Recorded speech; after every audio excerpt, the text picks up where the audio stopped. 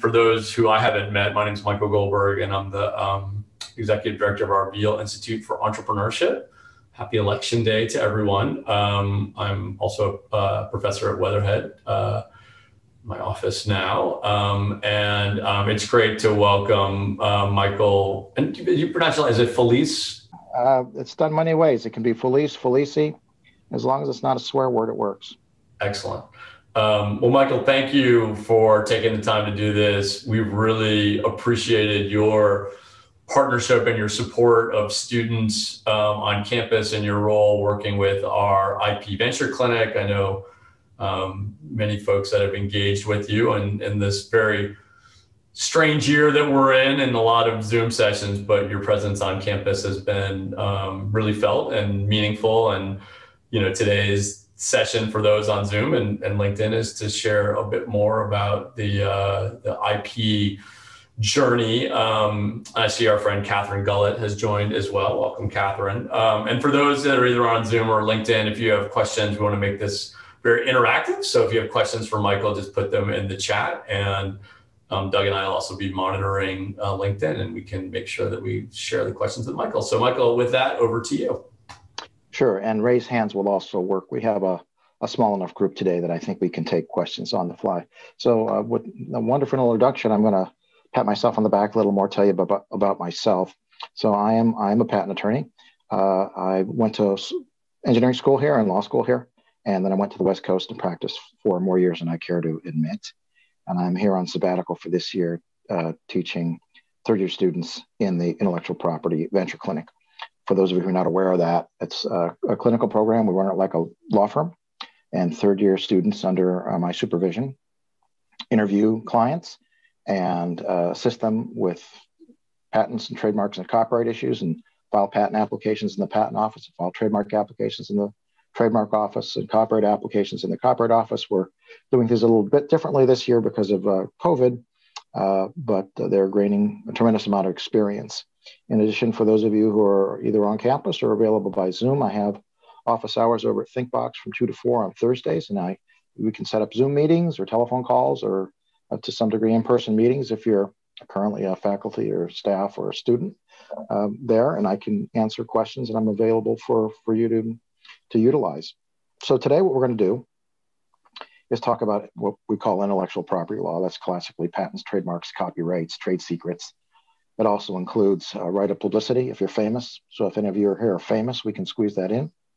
Uh, and uh, why those things should be important to you. And we're going to talk about them in the context of a startup and also to some degree in um, an academic institution, because I know some of you here are, are faculty members. So it's important to understand that each one of these rights is distinct. Some of them are created by you. Some of them are given to you by the government and you can't enforce anything until you have that done. There are certain deadlines that apply to most of these things, otherwise, you can lose rights. And there's also certain due diligence activities that you should be concerned about at some level, whether it's due diligence in terms of making sure you're not interfering with somebody else's rights that you might need to either avoid or acquire a license to or purchase. and also to know whether whatever it is that you've come up with might be protectable in some way that you, you have some degree of exclusivity. And we're going to try to squeeze all of that into one hour and also reserve some time so that you can answer questions about your specific situations. So with that, I'd like to go ahead and uh, share my screen and uh, get started with what I call the intellectual property chart, which has all these pigeonholes for these things. And we'll talk about each one and, and show some examples. And at the end, I'll, I'll show one product that sort of encompasses everything so to put it all into context. So this is what I call, and can somebody give me some thumbs up to see if you can see my screen? Thank you very much. So this is what I call the um, intellectual property chart, and it has these pigeonholes for um, all the different types of intellectual property. I'm trying to get my chat box to cooperate, but it's not. There it goes. All right. So the first thing I want to talk about are these two types of patents. There's actually three types of patents. There's utility patents, design patents, and plant patents. But unless any of you are horticulturists here with a new geranium, uh, we're going to skip plant patents for today. So utility patents protect the way things are made, the way they work, the way they uh, are used. And design patents protect the way things look. And we'll take a look at one of those in a minute. So utility patents are design patents are rights that are granted by the by national governments, either our government or foreign governments. And you don't acquire any patent rights until the government has reviewed an application that you filed and approved it, and you've paid them some money, both at the front end and the back end. That's very important to them. And once you have those rights, you can start enforcing them. There are some ways you can get your damages backdated a little bit early in the filing dates, but we won't go into that minutia today. Uh, so, as I said before, utility patents uh, cover the way things work, the way they're made, the way they're used. Specifically, they would cover methods and apparatuses, compositions of matter, like the polyploid oyster was the first living organism that was patented, um, uh, methods of uh, making something, a method of using something, method of doing something, uh, a, method for putting um, hermetically sealing uh, um, uh, chemotherapy vials with an automated apparatus, um, and, and, and the apparatus itself, and uh, the method for using those vials once they've been sealed, for example. But in no case does a utility patent cover an abstract idea? We had a very recent Supreme Court case in 2014, Alice versus CLS Bank. In case you're bored and you want something to read at night that will put you to sleep, which reminded patent attorneys and the patent office that abstract ideas are not patentable. And that was in the context of a computer program that optimized the purchase of certain securities.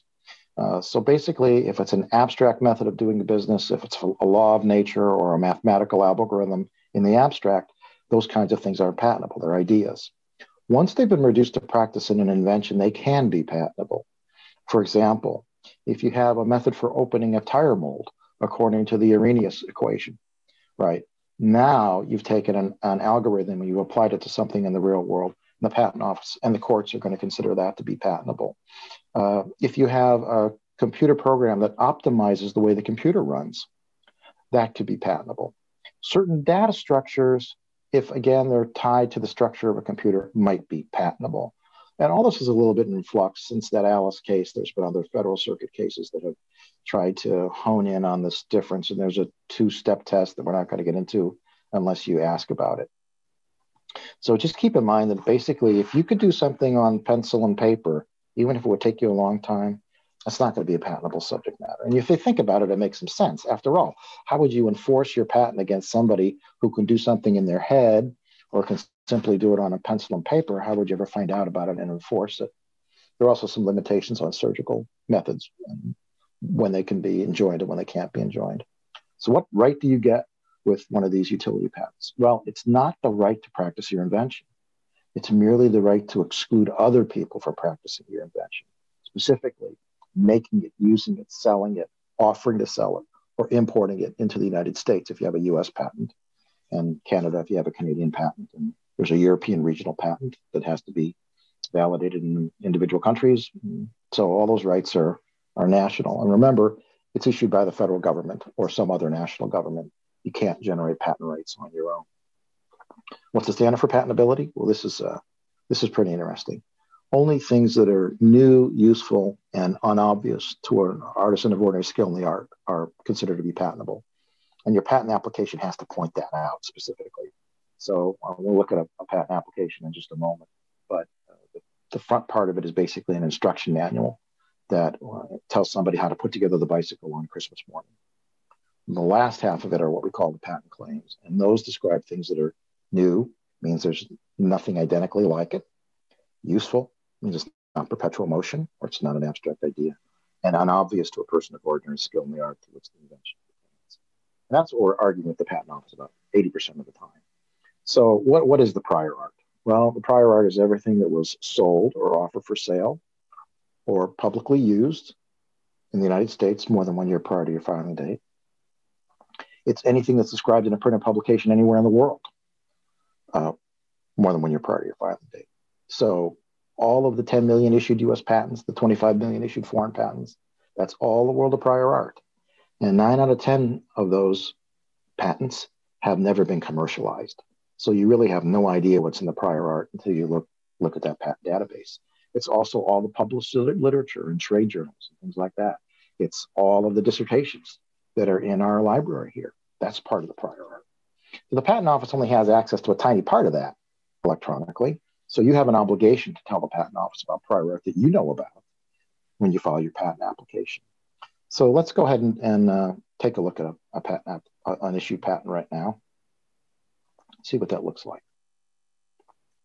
So this is a utility patent, and it starts off with a, move these things out of the way here.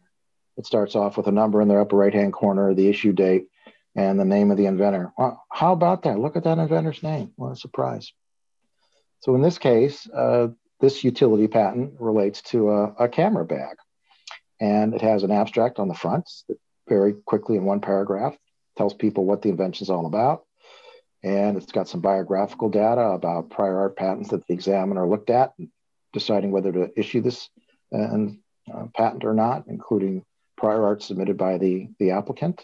See other publications, there's a catalog there and a series of drawings with reference numerals. And those drawings, uh, when read with the reference numerals and the written specification that follows, would enable a person of ordinary skill in the art to make use the invention. There's a you know, discussion here about whether there's any related applications, some background about the technology that the invention relates to, and uh, a brief summary of the invention. And then these uh, some paragraphs to describe the drawings, and then these numbered paragraphs with the reference numerals that refer back to the drawings to teach someone how to make and use the, the best the best embodiment, the best mode for carrying out the invention. And then here's the part where the patent attorneys make their money, the claims. And these claims are going to determine who infringes and who doesn't infringe. And these are the things that have to be new, useful, and unobvious over the prior art. Now, there's more than one claim. And the reason is, uh, if you just have one good broad claim, why do you need more than one? Well, during litigation, someone may prove to the court that claim one is not uh, unobvious, that in fact it's obvious over some combination of prior art that the examiner didn't know about. So we put in claim two just in case claim one's invalid, and hopefully claim two will save the day, or claim three, or claim 15, or when we get to the end, claim 20. And that's what a US utility patent looks like. Now, earlier I said, and I, am not able to monitor questions while I've got the share screen on, so hopefully um, uh, Doug or someone will keep an eye on whether there's any questions. Not let us know.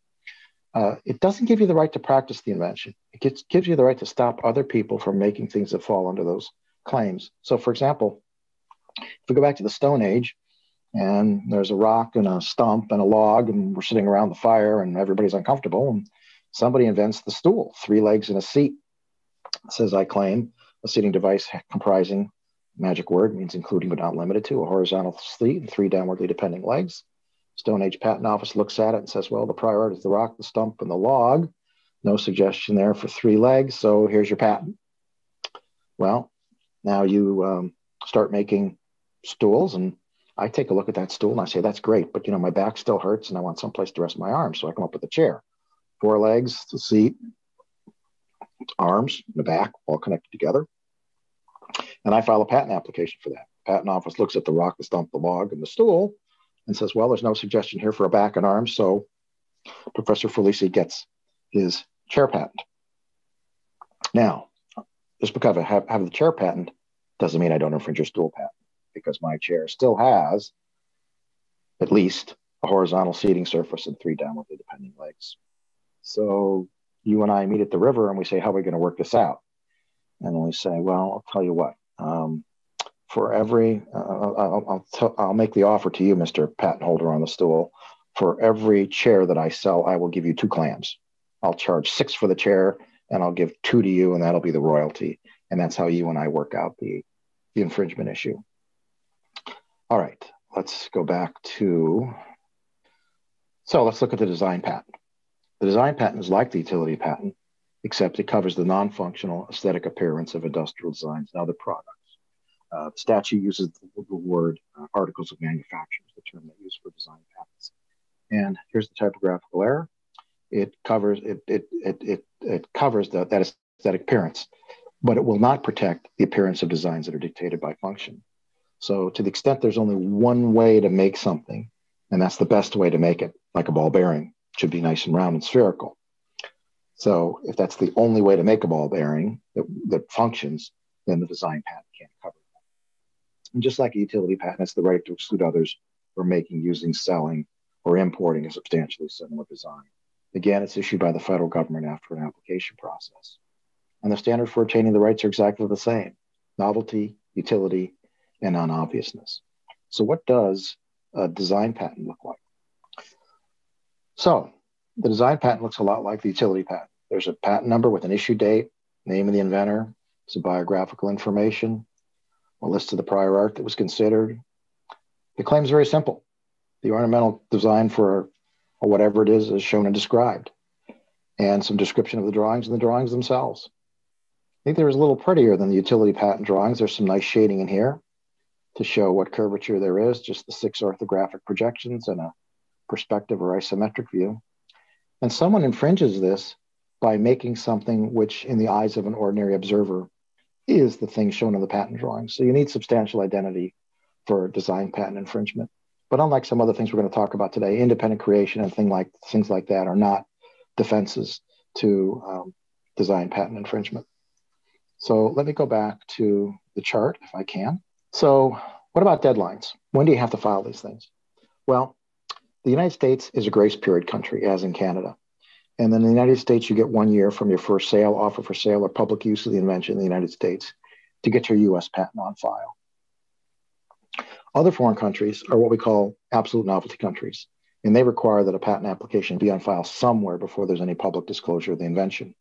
And those of you who are academics, this is, I'm sure you know this backwards and forwards. But we have a little bit of a legal fiction that helps us out. The United States, uh, as a part of the Paris Convention for the Protection of Intellectual Property, must have been a nice meeting under the Eiffel Tower. I'm sure they went to a nice cafe afterwards. And what they all agreed to as national countries was that they would grant reciprocal rights to nationals of each other's countries, and they would engage in a legal fiction that if a patent application was filed in their country within a certain deadline, but a national application had been filed in the domicile of the inventor's own country previously, within that deadline, the foreign country would pretend that the application was filed in that foreign country on the day it was filed in the country of the domicile. Very complex, so let's give it an example.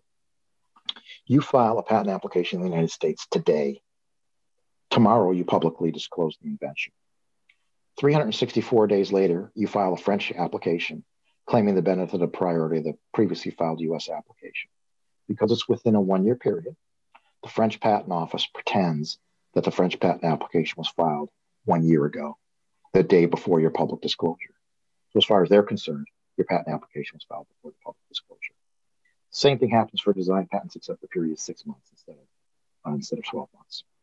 So that's the way you can preserve your, your foreign filing rights. We also have something special in the United States, which is hmm, somewhat new, called a provisional patent application. You may have heard of this.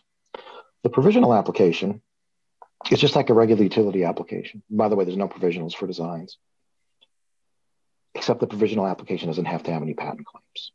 So you really don't have to know what exactly is new, useful, or unobvious about your invention at the time you file it.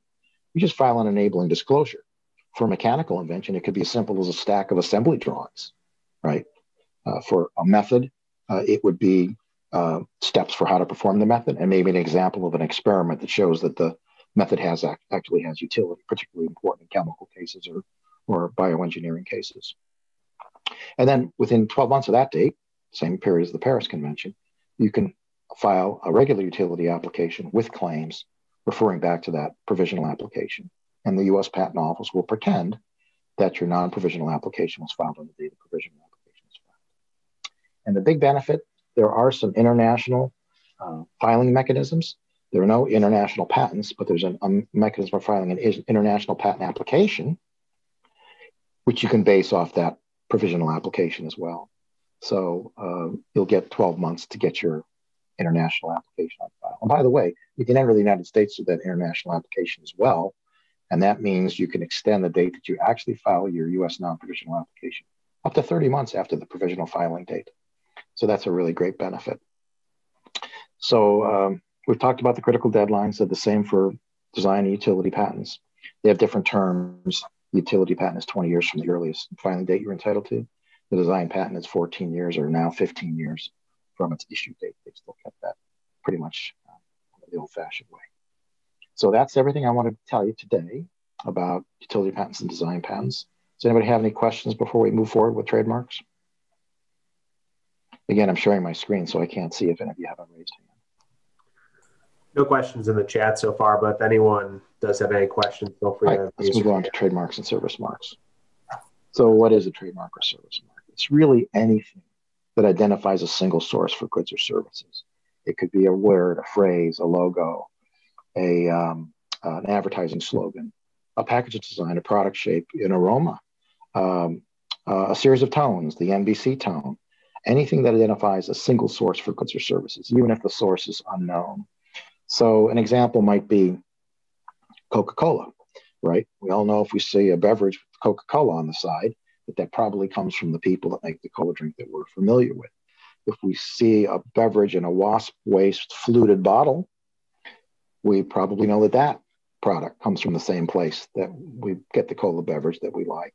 If we see a red background with a white swoosh through it on the side of a beverage truck, we know it's probably carrying the cola beverage that we're familiar with.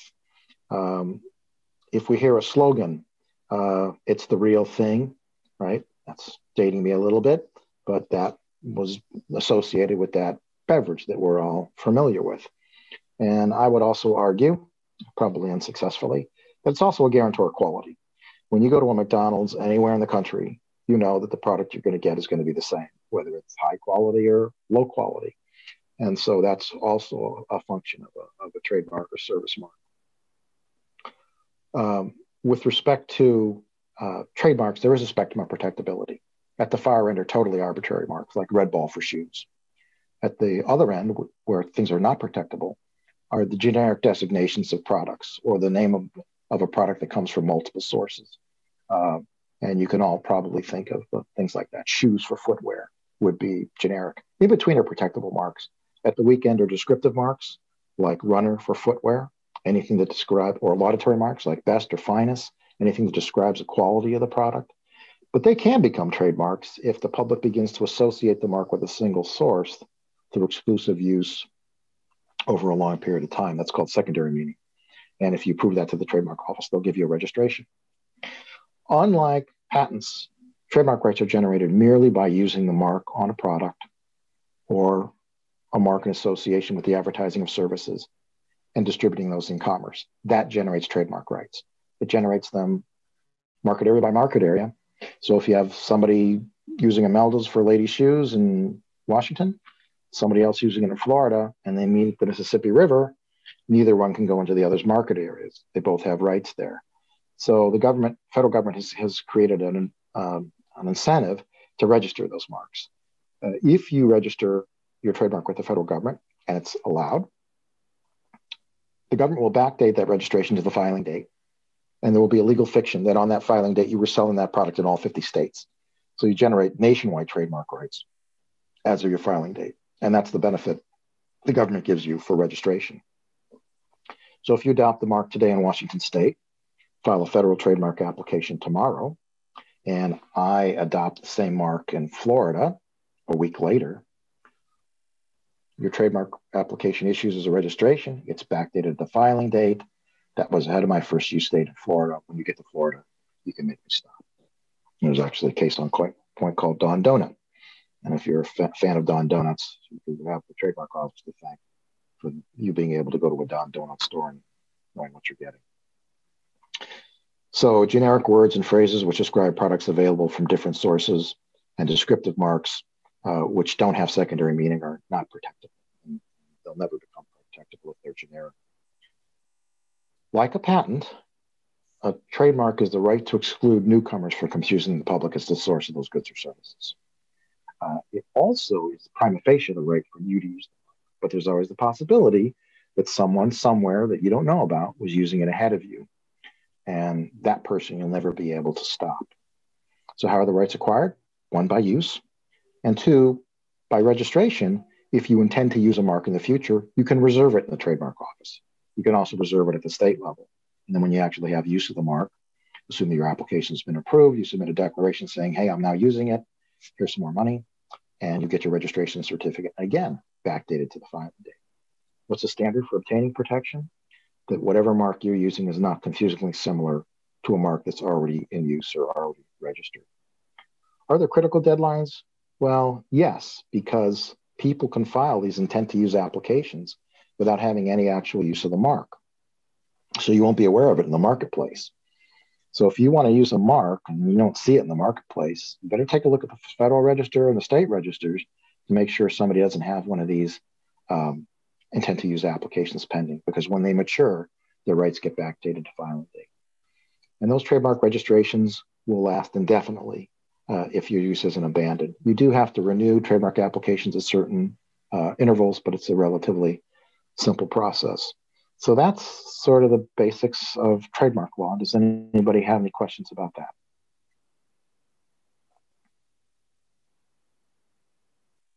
All right, let's move on to copyrights.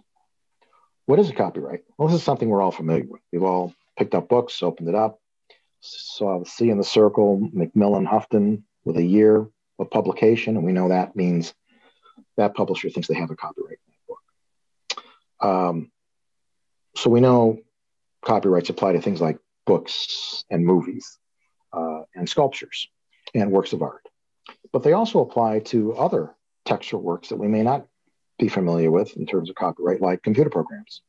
So, where computer programs today may have difficulty finding protection under the patent law, they can have protection uh, under the copyright law. And what rights do you get with a copyright? Well, it's the right to exclude others from making, using, distributing copies, and making derivative works like a book from a movie from a book or a modification to a computer program that you've licensed somebody to use. Unlike patents and a little bit like trademarks, you create copyrights on your own. The moment a work is fixed in a tangible medium, you take pen to paper, or your keystrokes are recorded on magnetic medium, or you take a picture and it's fixed in acetate film or digital film, or you record a performance that work is now copyrighted. There's very little originality required for copyright. It just has to have some uh, some authenticity, something original to you that you didn't derive from somewhere else.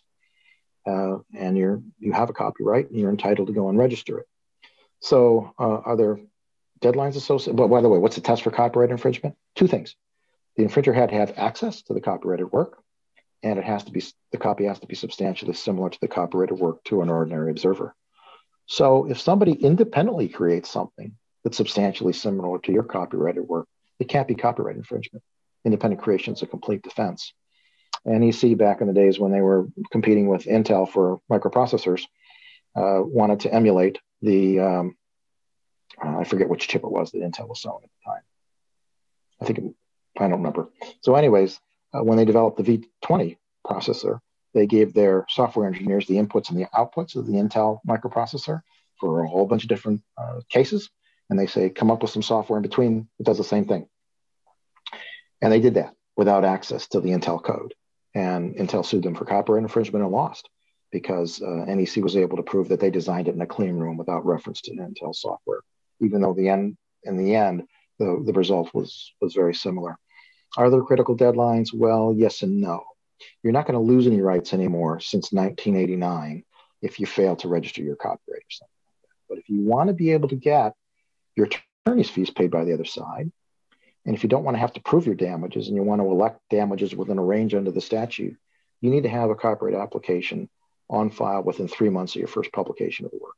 Again, there's a legal fiction. If you file today there's an infringe. I'm sorry, you you uh, you publish today.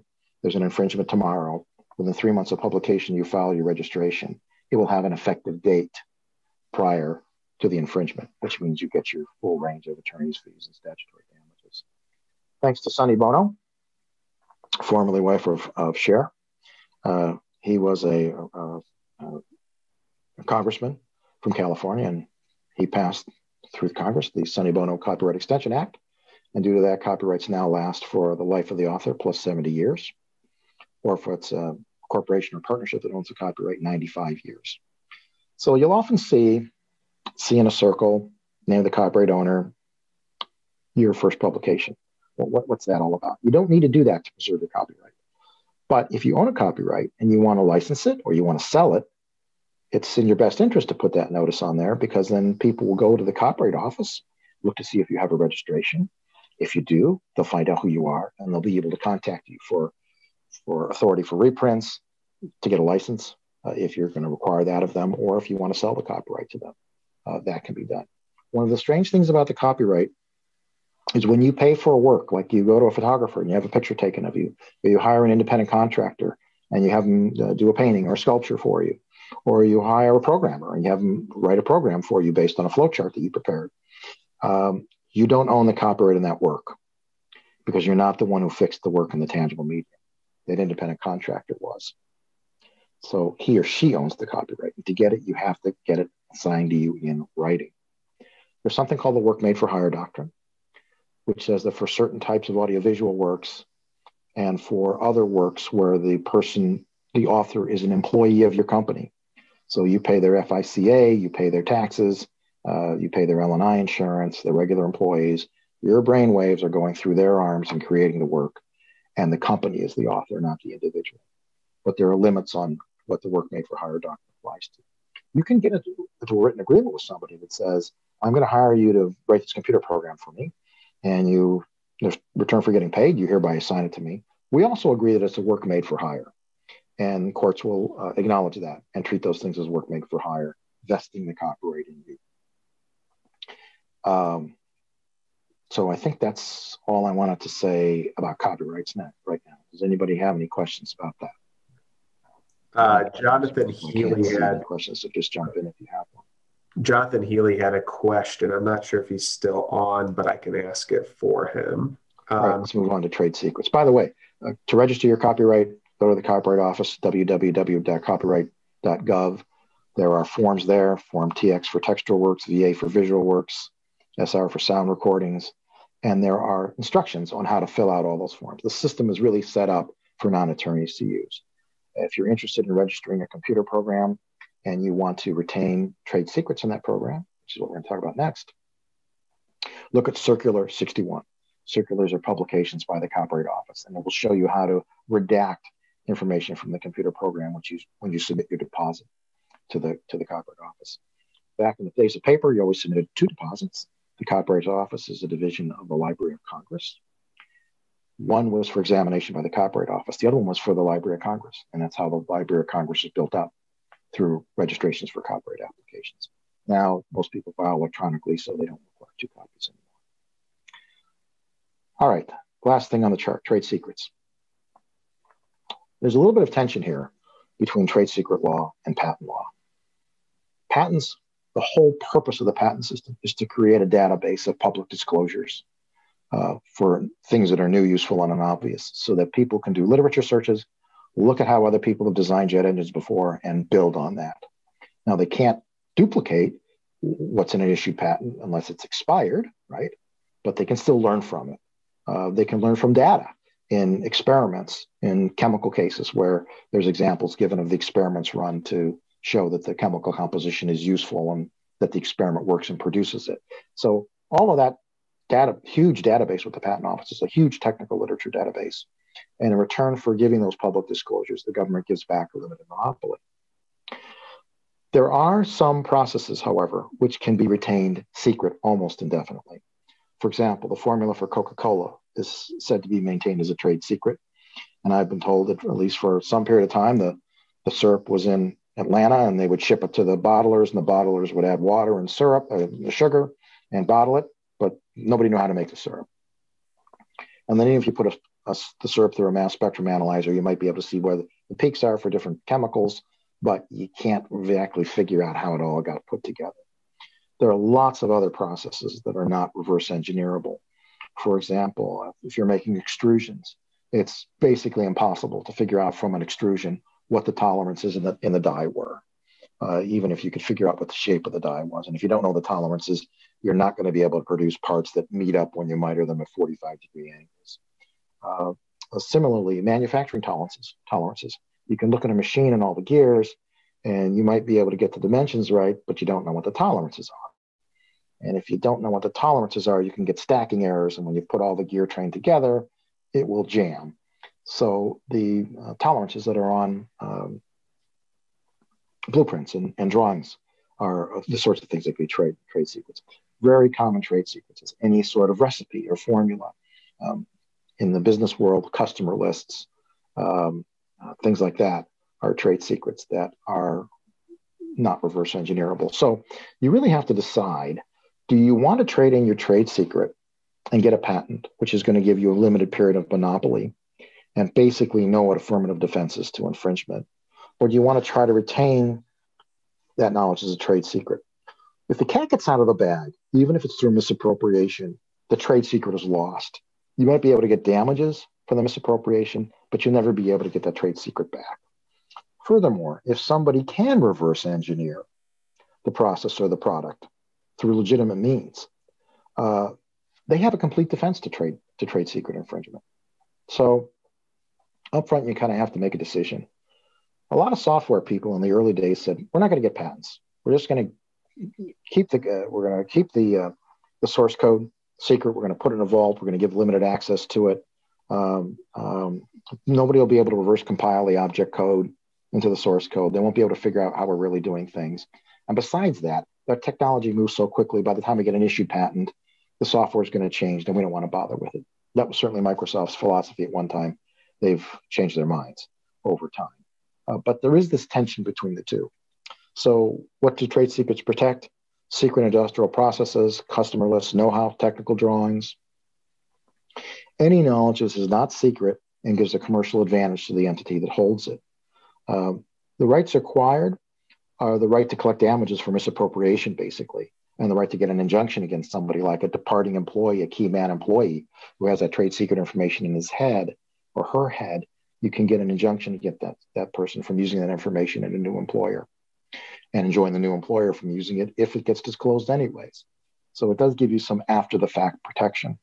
What do you have to do to acquire it? Well, it has to be confidential business information that gives the holder an economic advantage, and you have to make reasonable efforts to keep it secret. So, fence around the factory with barbed wire at the top, non disclosure agreements signed by people who come into the factory to look at the processes, uh, and limiting the number of people that are exposed to the secret. There's no critical deadline with association of trade secrets, and they can last forever.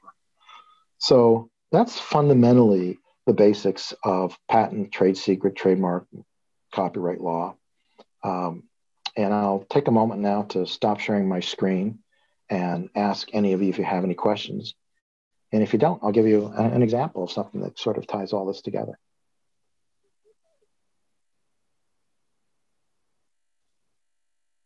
It looks like there's a question in the um, right. Zoom. All in a coma. Oh, sorry. I haven't understood anything. Or I'm Michael, can you lecturer in the history of the intellectual property venture fund. So the product I want to show you, let's start off this way. Uh, many years ago, uh, I had a very clever client, and he started off business with his engineering partner, uh, uh making interfaces to make daisy wheel uh, typewriters act like computer printers. All right, so he created a physical device that emulated uh, the make and break codes of, a, of the computer keyboard, so that the computer could output printing information to a standard daisy wheel printer, save people a lot of money. I came up with some other inventions after that. And one day he was uh, considering buying an alarm system for his home.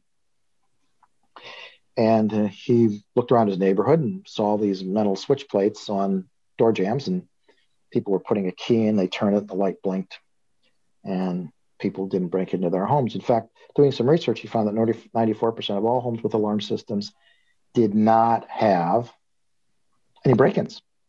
So he concluded that the real value of the alarm system was the visual deterrence of the switch plate on the front of the house, and all the hardware in the back that cost thousands of dollars was only useful in about 6% of the cases. So he decided that he was going to come up with a product that just simulated the appearance of an alarm system faceplate. He came up with this. So we get a little bit of reflection here, but hopefully you can see this.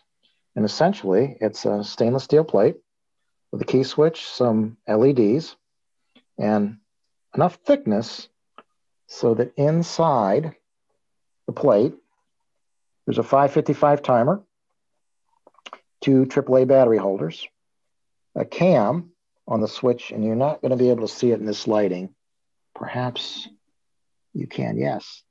There's a little coil spring right there. Hopefully you can see that spring and it's movable.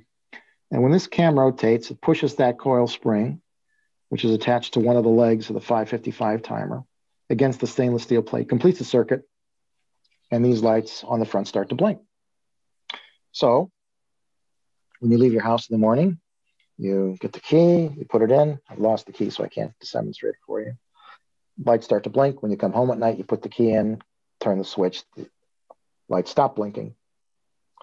And that simulates the appearance of an alarm system. And these were enormously popular. Millions of dollars worth of this product were um, sold. And we prepared utility patents on this, uh, directed to this spring mechanism, which was unique. But the client, being very clever, said, you know, what I really want is to stop anybody from making a product that simulates the appearance of an alarm system. So I just want a patent that would cover something with a, a plate and a, an interior compartment and some batteries and a circuit and, and a switch and some lights that's all self-contained. And we said, well, we, we don't think that's patent. We don't think the patent office is going to do that. So the client said, I don't care. Do it anyways. I'm paying the bill. So we did it and he got that patent. And people started to make modules that go inside cars that stuck on there with Velcro that had lights and some kind of actuating mechanism. And all those people paid him royalties. And he was able to quit his job at um, a company that made defibrillators at the time and just make these for the next uh, 17 years. At that time, that was the term of the patent. And um, I made all, all kinds of money doing that. So, question for the audience Would the client be able to get a design patent on this?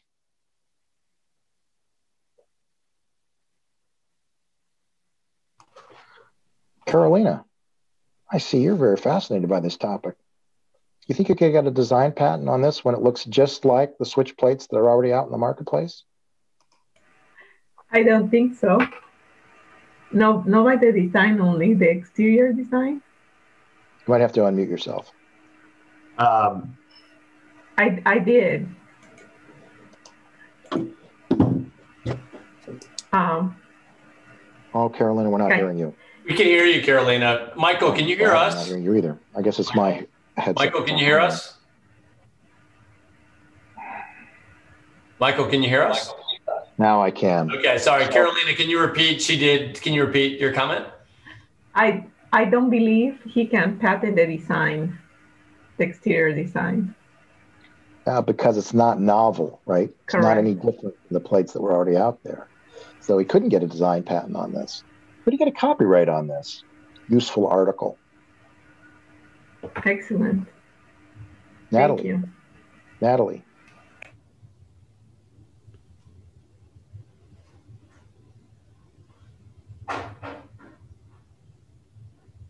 Natalie, can you hear us? Hello. Yes. Okay. I I didn't I I I couldn't um I couldn't hear what the question was. Question is, could the client get a copyright on this useful article?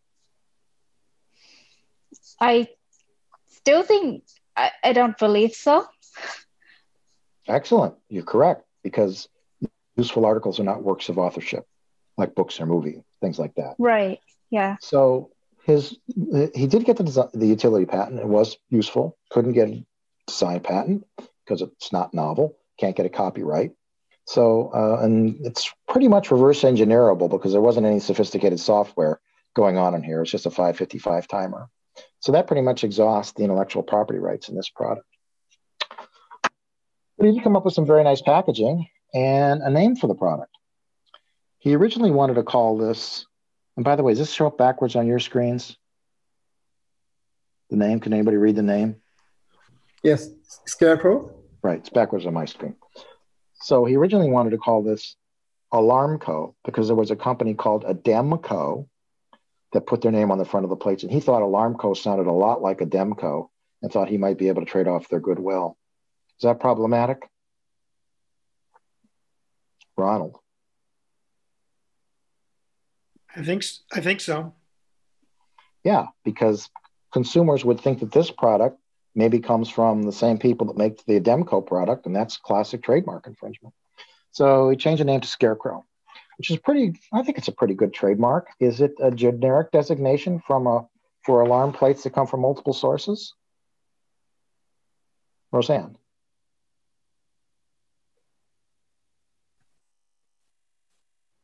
What was that question again? Have you ever heard of um, scarecrow alarm plates that come from multiple places? I have not. This thing, this thing, a scarecrow. Is that what this is? I wouldn't know. I wouldn't call it the scarecrow by just looking at it. What is a scarecrow?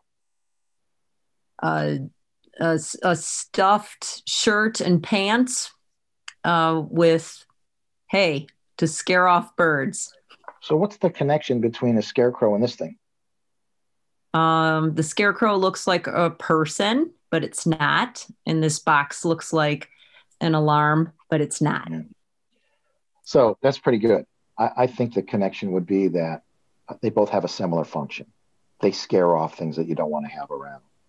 That's called a suggestive trademark because it suggests some quality of the product rather than describing it directly.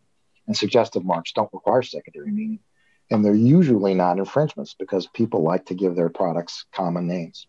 So, in the few minutes we have left, I want to talk about due diligence, unless anybody has any questions. So, what are you, what's your due diligence for you or your company? Uh, your due diligence is two things make sure you're not infringing somebody else's rights, and can you get some protection yourself? So, how do you determine whether or not, for example, you might be infringing a patent? Well, the first thing to do, we'll take these in the order of, of the greatest marginal benefit and smallest marginal cost.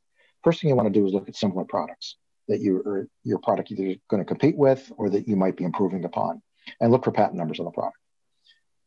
Patent owners have an incentive to put the patent number on the product. If they don't, they can't collect damages for infringement if they sue somebody. So most products that are patented will have a patent number. Go to the patent office website, www.uspto.gov, and you can do a simple search by plugging in the number, and you can pull up the patent and you can read it. If it looks problematic, get a hold of a patent, your patent attorney and have them do an analysis. Second thing you can do, again at the patent office website, is if you know who the players in the industry are. For example, this client knew that the player in the industry was called Ademco. You can look for all the patents owned by Ademco. Um, and there may be a lot or there may be a few. And if there's a few, you can look at all of them. If there's a lot, you start weeding them out uh, just by reading the abstracts and looking at the drawings. And then the ones that look problematic, you ship off to a patent attorney. And the third thing is to hire a professional search service. Uh, not a patent attorney because they're too expensive to do that, but a professional search service can look for patents that claim uh, something similar to what you want to make.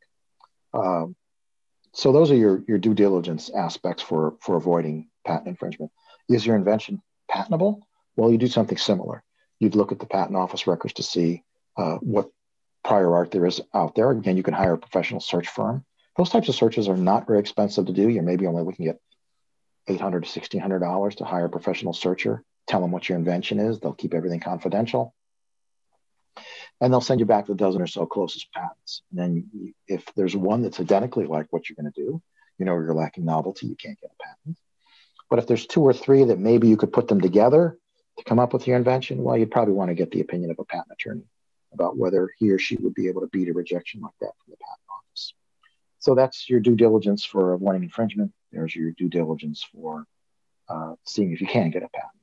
Uh, with respect to trademarks, we talked that about, about that a little bit. If you're going to adopt a mark, you haven't adopted it yet, you want to look at the federal register and the state trademark registers to see if anybody's got a confusingly similar mark.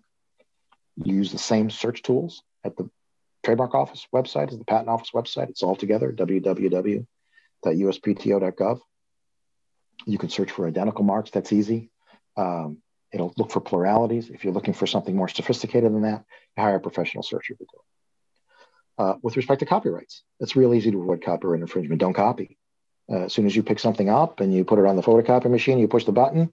If the copyright still is extant and hasn't expired, you're a copyright infringer.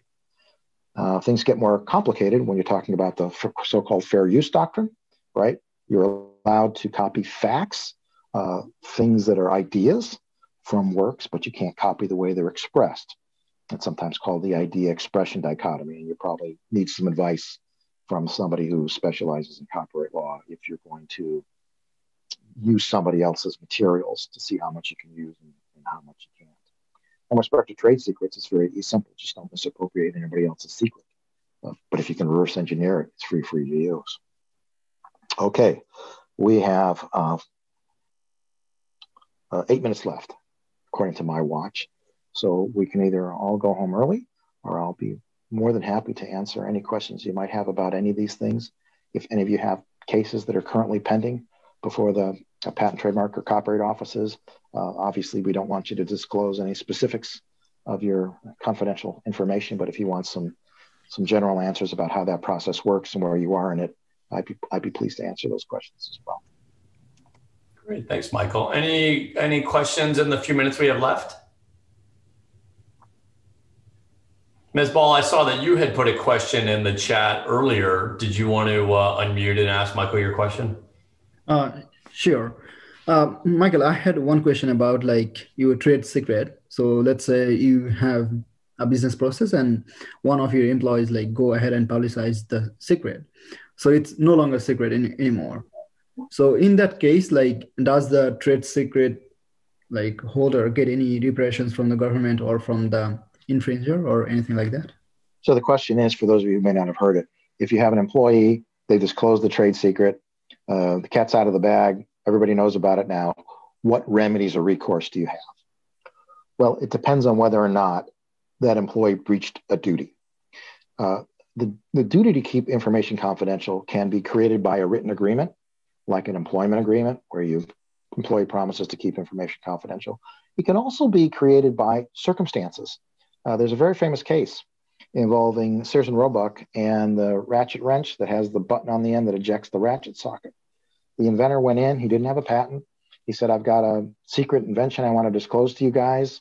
Uh, here it is. There was no agreement signed, but the door was closed, and uh, the disclosure had a reasonable expectation that that would be kept secret. Court decided that uh, there was an obligation of confidentiality. And when Sears went ahead and made uh, Craftsman ratchet wrenches with that button. They had breached that duty of confidentiality and they had to pay them damages. So the answer to your question is it comes down to was your employee obligated to keep that information confidential, either through an explicit obligation of confidentiality evidenced by some written agreement or by the circumstances surrounding it, uh, that situation? Did he know he was under an obligation to keep it secret? And if so, you could get damages from him. Unfortunately, once the secret is out and other people start using it, you can't collect anything from them. That's why it's very important that you make reasonable efforts to keep confidential information confidential. And that means in employment agreements having confidentiality clauses. you're working with independent contractors that you've hired to work on a project to make sure that your independent contractor agreement has some sort of confidentiality clause so that you can take uh, recourse against them let's say your your key employee goes to a competitor and you think he's about to disclose all that secret information you can go to a court and get an injunction to prevent that for him from doing that before it happens and to prevent his company from using that information should they have gotten it from him there's a very famous case uh, not too long ago involving a ford motor uh, employee who had done that i forget where he came from toyota or it was vice versa and uh, there were uh, millions of dollars in damages awarded. And the court did uh, put some restraint on, I, I, believe it was Ford, from using that information in products for a certain number of years until they would have caught up, anyways. So hopefully that answers your, your question. Great. We probably have time for one more question. And I know, Rebecca Manning, sometimes you're not able uh, to answer. I know you put a question in the chat. I'll just give you a second if you wanted to unmute and ask it. If not, I will be happy to ask it for you.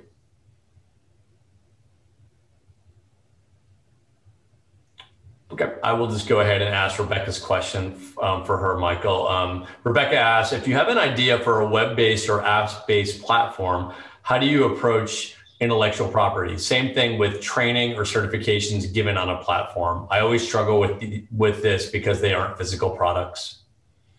So an excellent question. So let's start off with the, we'll just take the first one first. So let's start off with the premise that ideas are not protectable. Uh, you've got to have something a little more concrete than that. So if you've got uh, an app, you know, you actually got code, right? The code's protectable through copyrights. Uh, it's protectable the minute it's fixed in a tangible medium, magnetic medium, or you've written it out somehow, right? Um, and those copyrights can be registered. And there's a way to register them by redacting sections of the code so that the trade secret isn't disclosed to the public. The second way to do it is with agreements with your uh, the people that you're disclosing it to that they're not going to use they're not going to disclose that code outside the firm they're not going to use it for any purpose other than what the company permits them to use it for and that's the primary way to do it the third way still a possibility is through the patent system although uh, alice versus cls bank has told us that algorithms and abstract ideas are not patentable to the extent the web-based platform makes the machine run better, the platform run better. Uh, to the extent you've got some novel data structures there, it may be protectable by utility patent, and you need to go and see see a patent attorney about that. And hopefully, those those three methods provide you with some clarification as to where your path forward might be.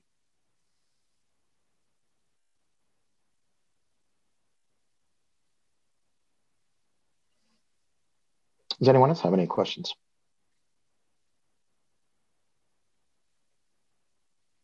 Well, I think we've wrapped this up uh, with one minute to spare. I, I thank you all for your uh, attention and uh, your questions. And I, I hope you find this useful. And please remember, uh, we're available to you. Uh, I'm at ThinkBox two hours a week where you can always call up and ask questions. And if you actually have a product or a business that's ready to go forward, you might want to give our intellectual property venture clinic a call here at the law school, and we'll put you through the um, the application process to see if you'd be a good match for our students. Thank you very much. Awesome. Thank you, Michael. And thanks everybody for joining today. Great. Um, as we sit and wait election results, it's great to be focused on other things like intellectual property. So it was a great overview. And Michael, thanks for the support that you're providing the community and our students and um, would highly recommend that folks on this call or in your networks, you know, reach out to Michael and um, his willingness to engage uh, with folks and um, kind of at ThinkBox or sort of remotely um, as we do it um, this year.